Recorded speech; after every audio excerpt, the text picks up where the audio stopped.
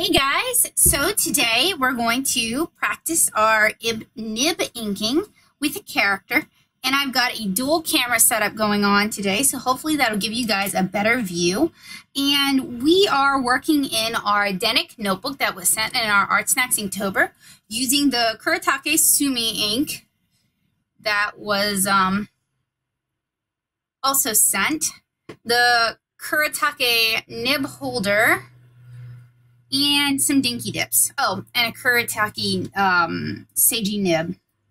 So pretty much everything was sent in the Inktober box except for my dinky dips.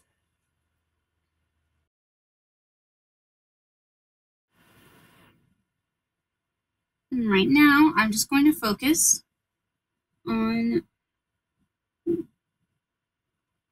doing an open line art, no shading. And I'm going to be kind of quiet because it is harder for me to ink and concentrate while I'm talking since I use my breathing to help me pull my strokes.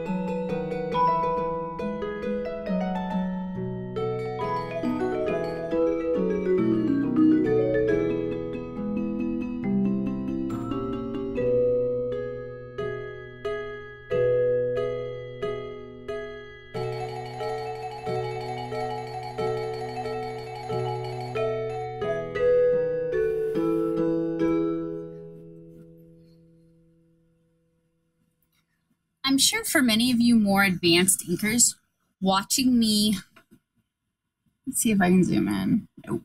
Watching me carefully scratch away at the surface, filling in large black fills is probably painful for you. Most of us would grab a brush or even a brush pen to do that. Um, the reason I'm doing it the laborious, painful to watch way is I want to demonstrate that this pen is just not suitable for that sort of inking. And sometimes the best way to demonstrate something like that is to do it the painful way.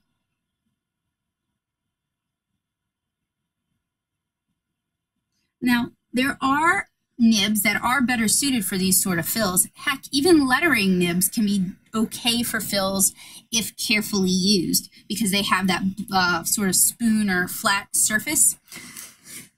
This has a sharp point. It's got almost a needle point. In fact, the Art Snacks packaging recommended that we be careful when handling it. Well, I've never cut myself on, and well, I've stepped on nibs and that hurt, but I've never cut myself just handling a nib.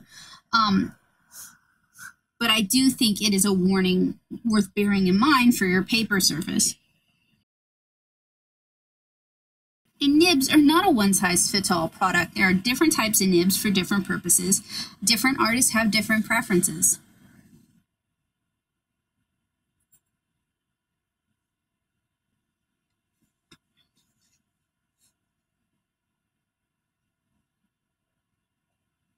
As I stated in that video where I was inking a cat portrait, Um, uh, when it comes to nibs, I enjoy tank nibs and I enjoy G nibs. I never really use spoon nibs a whole lot. And you probably don't want to be doing fills with a spoon nib anyway. You probably want to do cross hatching with a spoon nib.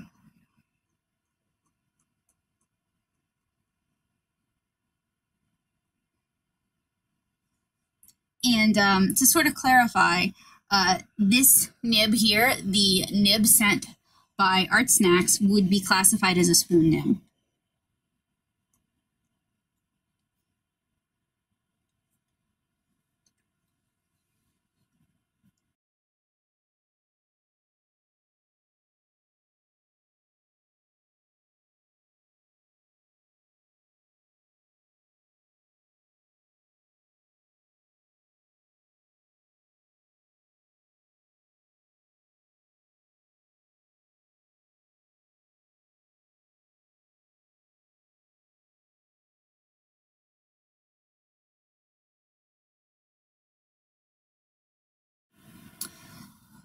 I posted that cat picture to my Instagram, the illustration I did to first demonstrate the paper and the nibs.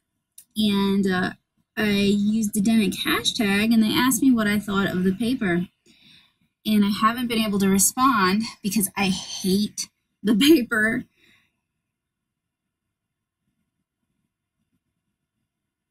I think it is terrible for for nib at least. It is just not the right kind of paper at all. It gets caught up in my nib.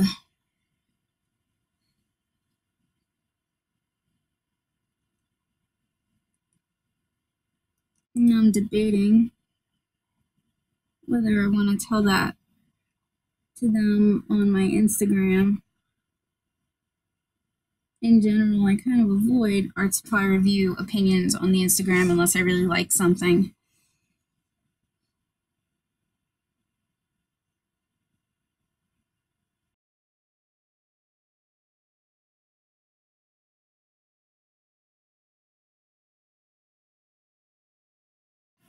I wish Art Snacks had sent paper that was actually designed for inking.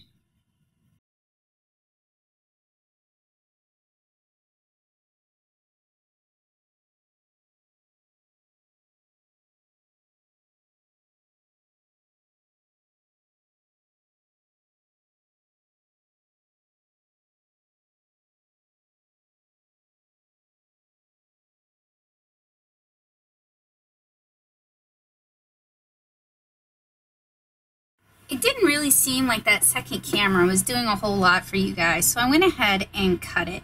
Hopefully you were able, if it did show anything, you were able to see um, sort of what I've been talking about with the nib. It's the sort of thing that is hard to see unless you're on top of it, unless you're the one inking.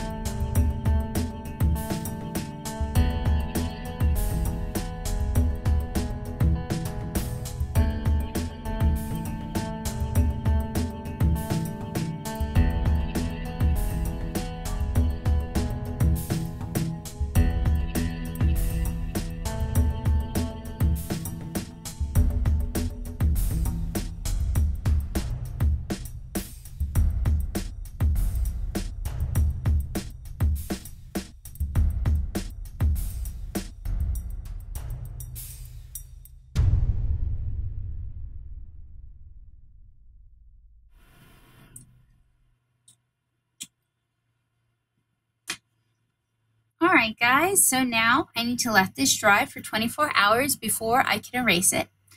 Um, thank you so much for hanging out with me while we inked a character using the Saji nib sent in my Art Snacks Inktober on the Denik paper, also sent in my Art Snacks Inktober. Um, having inked two pieces, I can say that I really do not enjoy using the nib that they sent on the paper that they sent. Um, I do have other nibs in my supply, so if you guys are interested in more inking videos or inking with the nib videos, you need to stay tuned to this channel. So, um, because I will be posting more of that to hopefully inspire you guys for your own Inktober adventures.